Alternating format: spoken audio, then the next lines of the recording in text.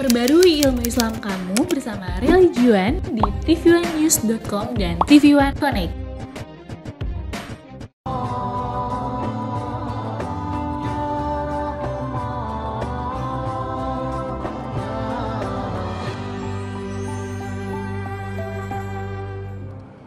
Assalamualaikum warahmatullahi wabarakatuh Alhamdulillahilladzi خلق الموت والحياة ليبلوكم أيكم أحسن عملا. والذي جعل الأرض والسماوات العلا. أرسل رسوله بالهدى ودين الحق بشيرا ونذيرا. وداعيا إلى الله بإذنه وسراجا منيرا. اللهم صل وسلم على سيد المصطفى وعلى آله وأصحابه والتابعين لهم بإحسان إلى يوم الجزاء. أما بعد فقد قال الله تعالى في القرآن الكريم وهو أصدق القائلين أعوذ بالله السميع العليم من الشيطان الرجيم كل نفس ذائقة الموت وإنما توفون أجوركم يوم القيامة فمن جهجي عن النار وأدخل الجنة فقد فاز. وما الحياة الدنيا إلا متاع الغرور. وقال النبي صلى الله عليه وسلم إنكم لتموتون كما تنامون وتبعثون كما تستيقظون وتحاسبون بما تعملون ثم إنها لجنة أبدا أو لنار أبدا. صدق الله العظيم وصدق رسوله النبي الكريم.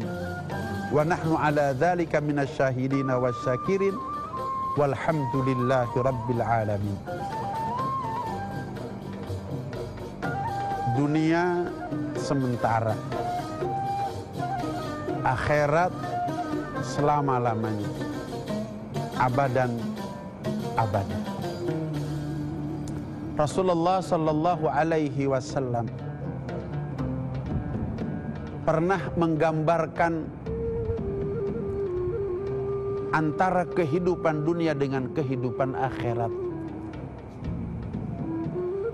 dengan cara seolah-olah Rasulullah sallallahu alaihi wasallam mencelupkan telunjuknya ke tengah-tengah lautan yang sangat luas.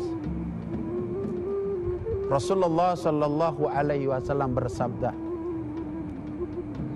kehidupan dunia seperti air yang di ujung telunjuk, sedangkan kehidupan akhirat seperti air yang ada di lautan. Manakala kenikmatan-kenikmatan dunia dikumpulkan menjadi satu kenikmatan maka akan seperti satu titik air yang ada di ujung telunjuk sedangkan kenikmatan akhirat seperti air yang ada di seluruh lautan demikian manakala penderitaan dunia semua orang-orang yang pernah menderita di alam dunia dikumpulkan menjadi satu penderitaan. Maka penderitaan semuanya itu akan seperti air yang ada di ujung telunjuk. Sedangkan penderitaan akhirat seperti air yang ada di seluruh lautan. Demikian usia Manakala usia dunia dibandingkan dengan usia akhirat Jangankan usia kita umat akhir zaman. Umat manusia akhir zaman. Seperti yang disampaikan dalam sabda Rasulullah sallallahu alaihi wasallam, "A'maru ummati baina sittina aw sab'ina Usia-usia umatku antara 60 70 tahun saja. Setelah itu kurang lebih inna lillahi wa inna ilaihi raji'un. Andai sejak Nabi Adam diciptakan sampai dengan manusia yang terakhir lahir ada usia manusia sepanjang itu dibandingkan dengan usia akhirat. Maka usia dunia yang sepanjang itu akan seperti air yang ada di ujung telunjuk. Sedangkan usia akhirat seperti air yang ada di seluruh laut. Jadi kita di dunia ini sebentar saja sementara saja Seratus tahun yang lalu kita belum ada.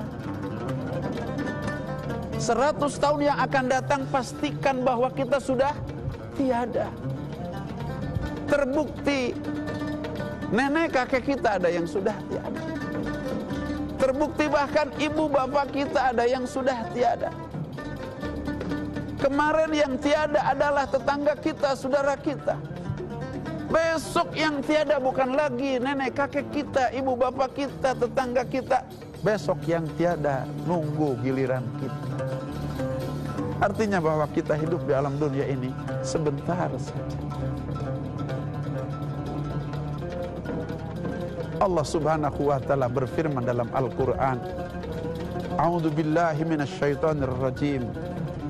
Kullu nafsin dha'iqatul maut setiap yang bernapas, yang bernyawa akan merasakan apa yang disebut dengan penderitaan sakaratil maut.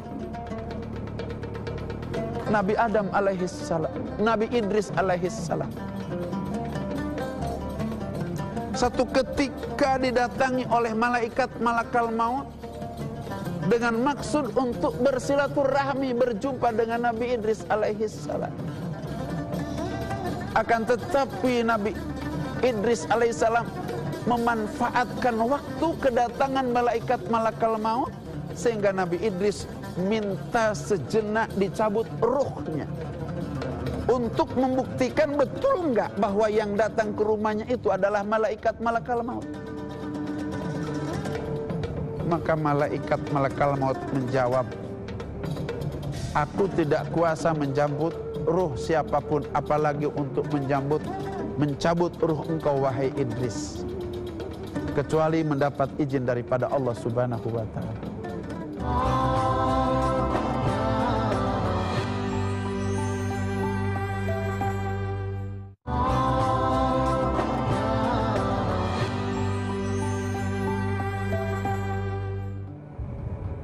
Kata Nabi Idris alaihissalam engkau minta izin kepada Allah subhanahu wa ta'ala Sampaikan kepada Allah Aku Idris ingin dicabut ruh sebentar saja. Kemudian ruh itu dikembalikan ke dalam jasadku.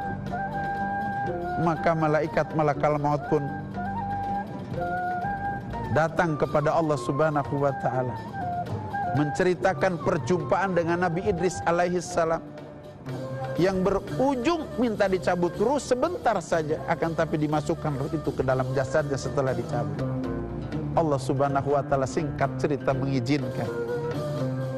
Malaikat malakal maut pun kembali ke rumah Nabi Idris alaihissalam maka ruh Nabi Idris dicabut oleh malaikat malakal maut karena perjanjiannya dimasukkan kembali ruh itu ke dalam jasad Nabi Idris alaihissalam maka ruh pun dikembalikan ke dalam jasad Nabi Idris alaihissalam. Akan tetapi apa yang terjadi? Nampak di wajah Nabi Idris alaihissalam biru kehitam-hitaman. Nampak dalam sikap Nabi Idris seolah-olah sedang menghadapi problem yang sangat besar. Sehingga terpaksa malaikat malakal maut bertanya kepada Nabi Idris alaihissalam. Wahid Idris, apa gerangan yang terjadi?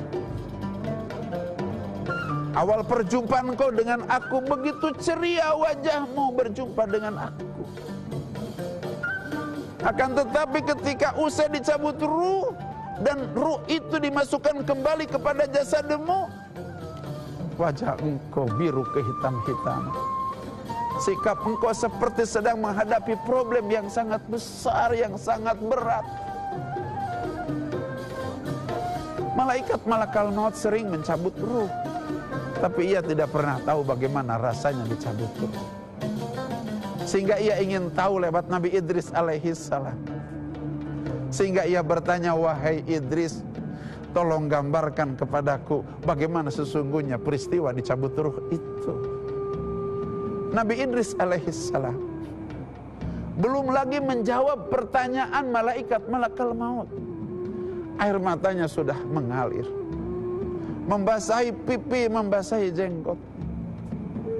Seraya Nabi Idris alaihissalam berkata, Wahai malaikat maut, kalau engkau ingin tahu bagaimana sesungguhnya peristiwa dicabut ruh itu, engkau seolah-olah menebang satu pohon.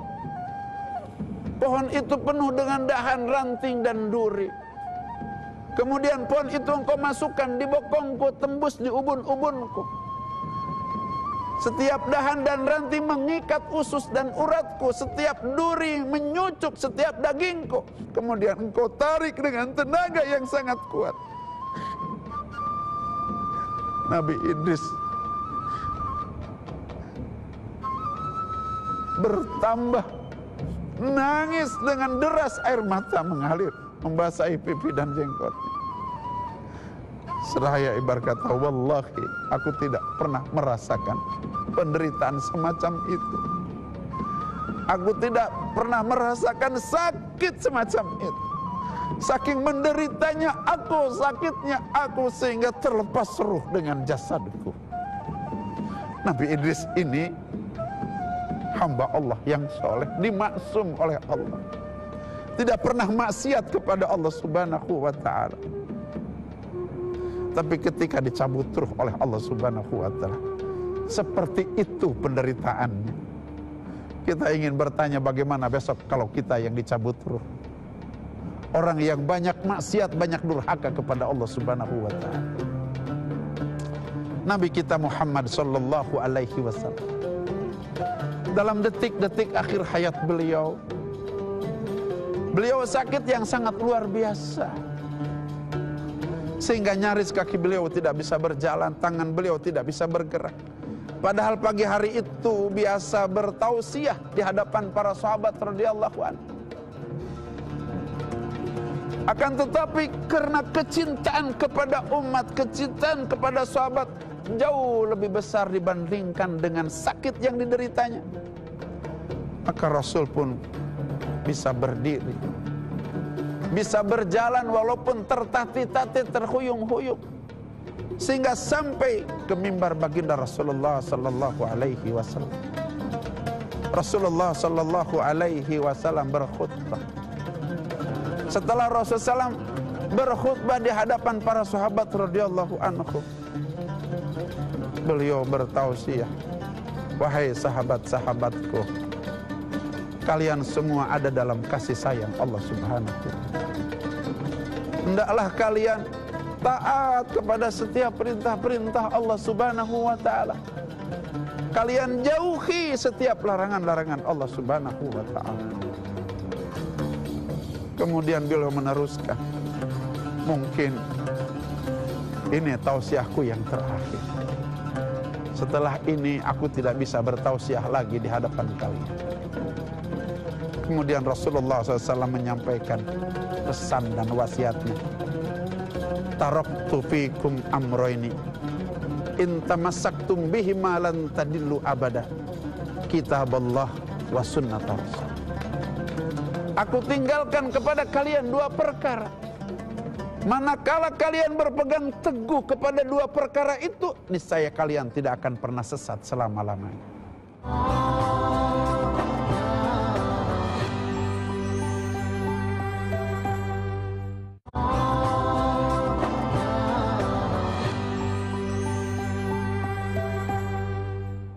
Apakah dua perkara itu? Kitab Allah. Yang pertama adalah Al-Quran. Wa sunnat rasulih yang kedua adalah sunnah Rasulullah sallallahu alaihi wasallam. Setelah itu Rasulullah SAW lidahnya keluh tidak bisa berbicara lagi. Walaupun kelihatan ingin berbicara banyak.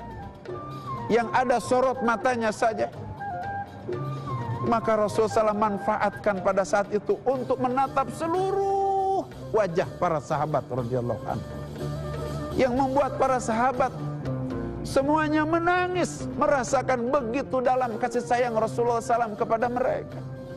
Dan merasakan ini merupakan tatapan terakhir baginda Rasulullah SAW kepada mereka. Tidak terkecuali Abu Bakar Siddiq radhiyallahu anhu. Umar bin Khattab radhiyallahu anhu. Utsman bin Affan radhiyallahu anhu dan terakhir Sayyidina Ali karramallahu wajah ditatap satu-satu. Dan mereka tidak sanggup menahan tetesan air mata. Sehingga mengalir pagi hari itu air mata. Membasahi pipi mereka membasahi jenggot mereka. Akan tapi Rasulullah SAW sudah mulai goyah Sayyidina Ali cekatan langsung Rasulullah SAW dipeluk Kemudian dipapah ke kamar peristirahatan Rasulullah sallallahu alaihi wasallam. Dibaringkan di atas tikar yang terbuat dari pelepah korma. Karena Rasulullah SAW sejak ia diangkat menjadi nabi, menjadi rasul, tidak tidur di atas kasur empuk seperti kita. Tidak tidur di atas bantal empuk seperti kita. Rasul tidur di atas tikar yang terbuat dari pelepah korma. Sehingga satu ketika Umar bin Khattab masuk ke kamar Rasulullah SAW. Kemudian Rasulullah bangkit dari tidurnya. Membekas pelepah korma di punggung Rasulullah Sallallahu Alaihi Wasallam yang membuat Umar bin Khattab radhiyallahu menangis pada saat itu. Kemudian diserahkan oleh Sayyidina Ali kepada istrinya tercinta Siti Aisyah radhiyallahu anha diserahkan kepada putrinya tercinta Siti Fatimah radhiyallahu anha. Kemudian dilap keringatnya karena di sekujur rambutnya basah keringat. Tiba-tiba ada yang mengucapkan salam. Di balik pintu kamar baginda Rasulullah sallallahu alaihi wasallam Siti Fatimah radhiyallahu anha bergegas membuka pintu. Ternyata ditemuinya seorang laki-laki dikatakan oleh Siti Fatimah, ayahku dalam keadaan sakit keras. Tidak mungkin menjumpai tamu siapa. Maka Siti Fatimah pun kembali mengurus ayahandanya tercinta yang dalam keadaan sakit. Maka ditanya oleh Rasulullah SAW. Tiba-tiba mata Rasulullah SAW terbuka. Tiba-tiba Rasulullah bisa berbicara, bertanya kepada Siti Fatimah, siapa gerangan yang datang? Kata Siti Fatimah, seorang laki-laki, wahai ayah, Aku sudah sampaikan kepadanya, ayah tidak mungkin menjumpai laki-laki itu karena ayah dalam keadaan sakit keras. Maka Rasulullah SAW menyampaikan kepada Siti Fatimah, wahai Fatimah, dia bukan seorang laki-laki. Dia adalah seorang yang dapat memisahkan antara kehidupan dunia dengan kehidupan akhirat. Wahai Fatimah, dia adalah seorang yang dapat memisahkan nikmat dunia dengan nikmat akhirat. Wahai Fatimah, dia seorang yang dapat memisahkan antara ruh dengan jasad seseorang. Dia adalah malaikat malakal maut yang sengaja pagi hari ini diutus oleh Allah Subhanahu wa taala untuk datang ke kamarku. Buka pintu itu. Kaget luar biasa Siti Fatimah. Ternyata laki-laki itu adalah malaikat malakal maut. Maka Siti Fatimah pun mengikuti apa diperintahkan oleh ayahnya. Dibuka pintu itu malaikat malakal maut. Salam yang kedua kali assalamualaikum ya Rasulullah. Waalaikumsalam ya malaikat malakal maut. Kata malaikat malakal maut boleh aku masuk ke kamar engkau? Kata Rasul kenapa engkau harus bertanya boleh atau tidak masuk ke kamarku? Kata malaikat malakal maut aku dipandu oleh Allah subhanahu wa ta'ala. Sebelum aku masuk ke kamar engkau aku disuruh oleh Allah subhanahu wa ta'ala bertanya kepada engkau boleh atau tidak aku masuk kamar engkau? Kata Allah subhanahu wa ta'ala, kalau engkau menolak aku disuruh kembali. Akan tapi kalau engkau menerima, aku disuruh masuk. Rasulullah SAW menjawab bagaimana aku bisa menolak kedatangan engkau. Karena kedatangan engkau yang akan mempercepat perjumpaan aku dengan Allah subhanahu wa ta'ala. Maka Rasulullah SAW mempersilahkan malaikat malakal maut untuk datang ke Rasulullah SAW Kemudian Rasul dicabut ruhnya oleh malaikat malakal maut. Disaksikan oleh malaikat Jibril alaihissalam pada saat itu. Ketika ruh sampai di tenggorokan baginda Rasulullah sallallahu alaihi wasallam, Rasul menjerit. Rupanya sakaratil maut tidak pernah pilih pun kekasih Allah Subhanahu wa taala sekalipun. Imamul Anbiya, Imamul Mursalin, wa Imamul Malaikah Al-Muqarrabin sekalipun Rasulullah SAW menjerit sekuat-kuatnya sakit nian ya Rob sakaratil maut ini. Sakit nian ya Rob sakaratil maut ini. Sakit nian ya Rob sakaratil maut ini sehingga malaikat Jibril alaihissalam memalingkan wajah. Ditanya oleh Rasulullah sallallahu alaihi wasallam wahai Jibril, jika engkau memandang wajah aku di saat aku menderita sakaratil maut. Malaikat Jibril menjawab siapa yang tega melihat kerut kening engkau. Siapa yang tega mendengar cerita engkau menahan pedihnya sakaratil maut. Mohon maaf kalau aku terpaksa memalingkan wajah. Rasul menjerit kepada Allah Subhanahu wa taala, "Rabb, jangan engkau timpakan kepedihan sakaratil maut ini kepada umatku. Biar aku yang menanggung setiap penderitaan sakaratil maut umatku timpakan oleh engkau. Penderitaan sakaratil maut yang akan engkau timpakan kepada umatku engkau timpakan kepadaku sekarang juga. Rasulullah SAW dapat merasakan betapa pedihnya kalau ini sakaratil maut ditimpakan kepada umatnya kita sebagai umat baginda Rasulullah Sallallahu Alaihi Wasallam. Artinya hadirin wal hadirat yang dirahmati oleh Allah Subhanahu wa taala. Begitu pedihnya sakaratil maut. Rasulullah SAW mengijajahkan doa kepada kita agar kita diringankan dalam sakaratil maut. Allahumma hawin alaina fi sakaratil maut. Allahumma hawin alaina fi sakaratil maut. Allahumma hawin alaina fi sakaratil maut. Mudah-mudahan kita semua oleh Allah Subhanahu wa taala diringankan dalam sakaratil maut kita. Lebih jauh daripada itu, dalam sakaratil maut kita, ah, kita mengakhiri akhir kata-kata kita dengan kalimat La ilaha illallah. Rasul bersabda barang siapa yang di akhir hayatnya mengucapkan kalimat la ilaha illallah, dia dijamin masuk ke dalam surganya Allah Subhanahu wa taala. Mudah-mudahan sakaratil maut kita semacam itu. Hadanallahu wa iyyakum ajmain wa adkhalana fi zumratil muwahhidin fi jannatin naim. Aku lu qali hadza fastaghfiruhu innahu wal ghafurur rahim. Subhanallahi wa bihamdihi. Subhanakallah bihamdika. Asyhadu an la ilaha illa anta astaghfiruka wa atubu ilai. Subhana rabbika rabbil izzati amma yasifun wa salamun al mursalin walhamdulillahi rabbil alamin. Billahi taufiq wal hidayah wassalamu alaikum warahmatullahi wabarakatuh.